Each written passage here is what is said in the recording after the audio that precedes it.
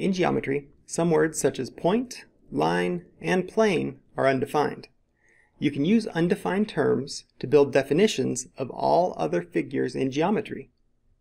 Although you cannot define undefined terms, you need to have an understanding of their meanings. Take note, key concept, undefined terms. We'll see the term's description on the left, how to name it in the middle, and finally a diagram on the right. First, term description, a point indicates a location and has no size. How to name it? You can represent a point by a dot and name it by a capital letter, such as A. And a diagram? Here we see the point A labeled with the capital A. Next, term description, a line is represented by a straight path that extends in two opposite directions without end and has no thickness. A line contains infinitely many points. How to name it? You can name a line by any two points on the line, such as AB with this line symbol over the top. We read that as line AB, or BA with the same line symbol over the top, read line BA, or by a single lowercase letter, often written in script or cursive, such as line L. A diagram? Here we see line AB, which could also be referred to as line BA, and could be referred to as line L. Finally, term description. A plane is represented by a flat surface that extends without end and has no thickness. A plane contains infinitely many lines.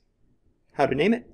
You can name a plane by a capital letter, such as plane P, or by at least three points in the plane that do not all lie on the same line, such as plane ABC.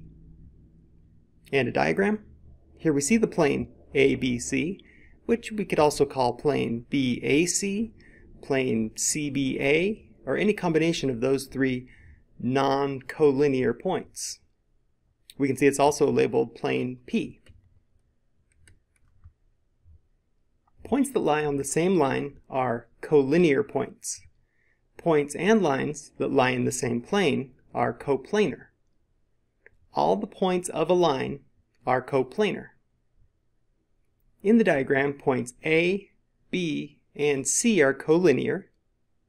Points A, B, C, and D are coplanar.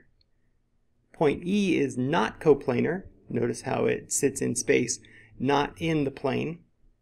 But it is not coplanar with the points A, B, C, and D. Here we see the diagram from three different perspectives. Problem 1. Naming points, lines, and planes. Use the diagram. What are two other ways to name line QT? Well, two other ways to name line QT are line TQ and also line M. Note the lowercase script letter M.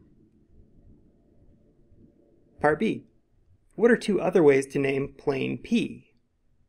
Well, two other ways to name plane P are plane RQV, three points in the plane, and plane RSV, a different collection of three points in the plane.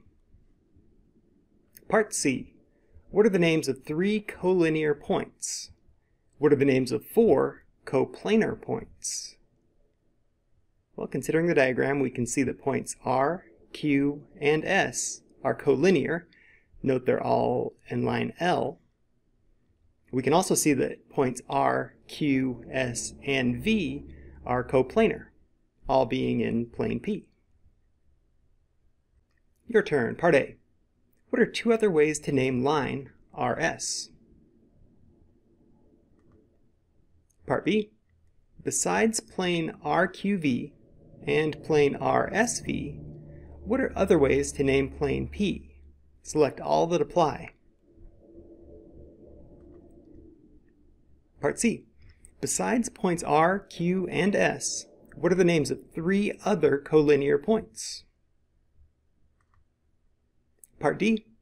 What are two points that are not coplanar with points R, S, and V.